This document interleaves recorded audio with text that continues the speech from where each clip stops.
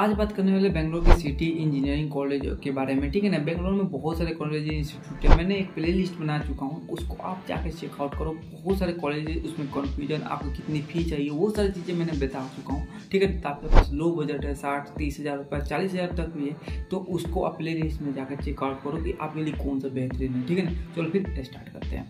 तो हम बात करते हैं city engineering college of Bangalore में है, ठीक है ना? ओवरव्यू थोड़ा जान लेते हैं इसके बारे जो स्टेब्लिश जो हुई थी 2001 में हुई थी, ठीक है ना? तो सकते तो ज़्यादा ओल्ड नहीं, बीस साल हुई होगी, ठीक है ना? एक ही साल।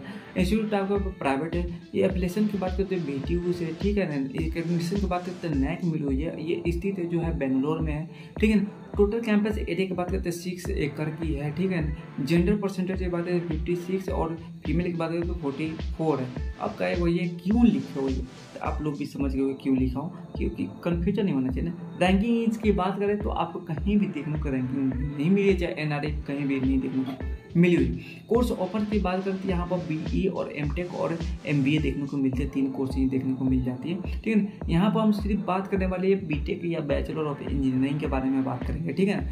तो सिविल इंजीनियर है कंप्यूटर साइंस इंजीनियरिंग है इलेक्ट्रॉनिक कम्युनिकेशन इन्फॉर्मेशन और मैकेनिकल यानी कह सकते हो पाँच ही यहाँ पर आपको ब्रांच देखने को मिलेगा समझ हो ना कंपटीशन बहुत लो है तो इस कॉलेज को ले सकते हो फ़ी भी यहाँ पर, देख लेते हैं जैसे सिविल इंजीनियर की एक लाख दस हज़ार रुपया है ठीक है ना? यहाँ पे इंफॉर्मेशन टेक्नोलॉजी की बात करते हैं पचासी हज़ार है। यानी तीन लाख चार लाख रुपये में आपको पूरा चार साल की बीटेक आपको कंप्लीट हो जा रही है ठीक है तो आप इसमें जा सकते हो यार अगर प्लेसमेंट भी थोड़ी लो है तो आप जा सकते हो। फ़ी देखा करो कि कितनी कम है और मेरे बीटेक की डिग्री भी मिल जा रही है ठीक है ना?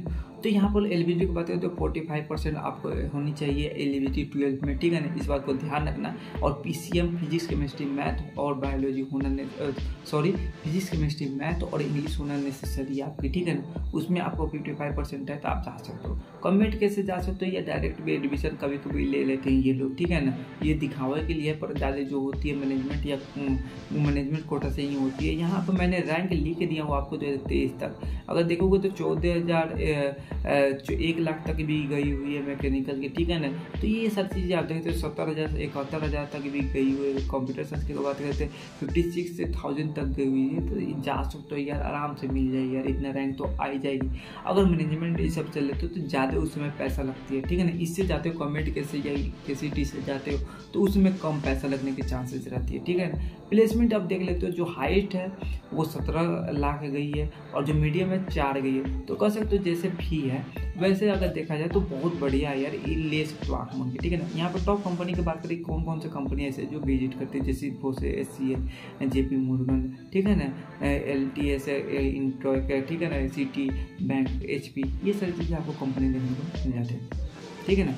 यहाँ पर आप इंफ्रास्ट्रक्चर की बात करते हैं computer lab library gym sport library auditorium hostel cafeteria ये सारी चीज़ देखने को आपको मिल जाती है। तो ठीक है ना? तो आपको कोई भी प्रॉब्लम आती है तो आप डिस्क्रिप्शन में लिंक होगी उस पर चेकआउट कर लेना या कमेंट में डाल देना, मैं उस पर रिप्लाई दे दूँगा। चलो फिर मिलते हैं बाय बाय ठीक है।